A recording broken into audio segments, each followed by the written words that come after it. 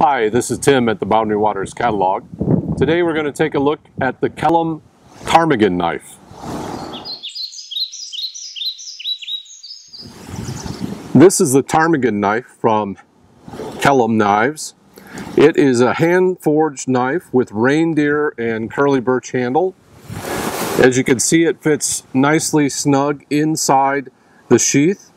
Uh, it's got a hand-forged blade and if you look, you can see forge marks here, here, here. Uh, it's very sharp. This knife, I can shave the hair right off my hand, right out of the box.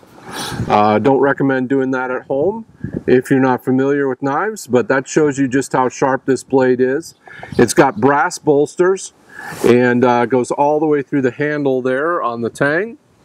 It is curly birch and reindeer antler it's got an embossed sheath. You can see the ptarmigan on the sheath.